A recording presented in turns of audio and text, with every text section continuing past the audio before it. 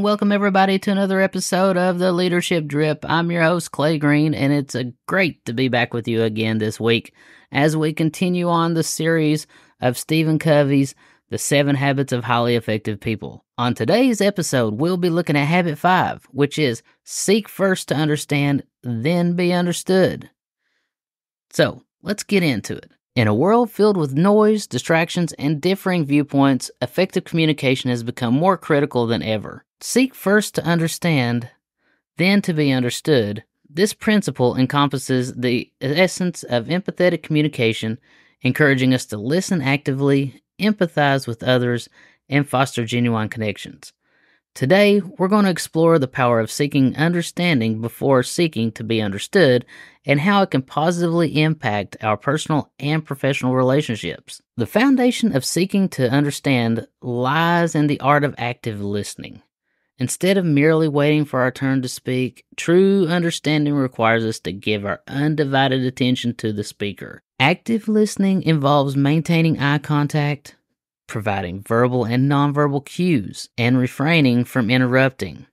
By focusing on the speaker's words, emotions, and body language, we can better grasp their perspective and demonstrate respect for their opinions and their experiences. Empathy serves as the bridge that connects individuals on a deeper level.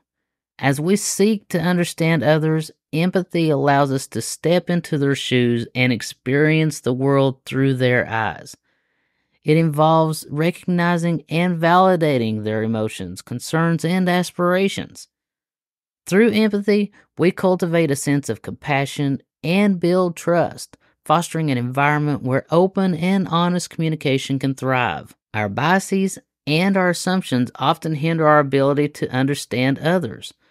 Preconceived notions based on stereotypes or past experiences can cloud our judgment and prevent us from empathizing effectively. To seek understanding, we must acknowledge and challenge our biases, remaining open to new perspectives.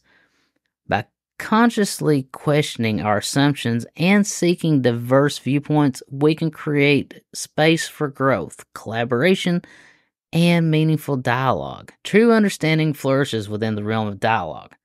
When engaging in conversation, we should aim to create an environment where everyone feels heard and valued.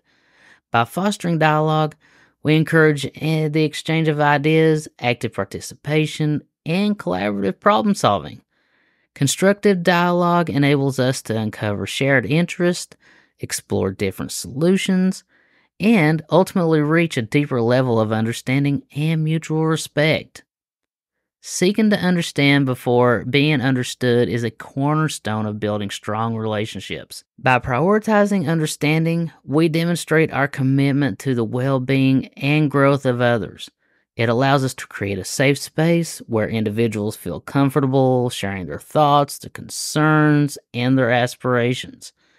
As we deepen our connections through empathy and active listening, we foster relationships based on trust, respect, and reciprocity. The principles of seeking understanding has immense relevance in professional settings. By employing empathetic communication, leaders can create a culture of collaboration, innovation, and employee satisfaction. Leaders who listen and understand their team members' perspectives foster a sense of belonging, encourage diverse viewpoints, and motivate individuals to contribute their best in the workplace, seeking understanding before being understood builds strong teams and paves the way for enhanced problem solving and decision making. In today's digital age, where online interactions dominate, seeking understanding becomes even more crucial.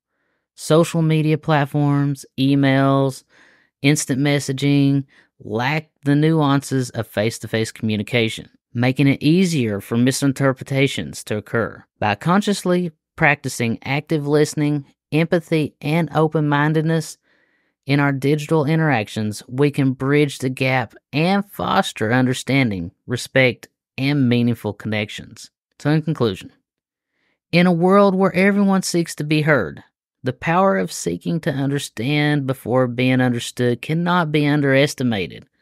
Stephen Covey's principle from the Seven Habits of Highly Effective People offers us a powerful framework for cultivating empathy, deepening connections, and building strong relationships.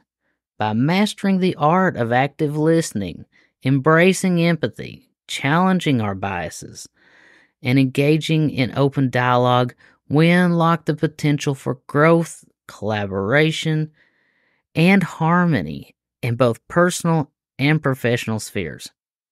Let us remember that true understanding begins when we choose to listen with our hearts and our minds, and only then can we hope to be understood. Thank you for joining us on this episode of the Leadership Drip.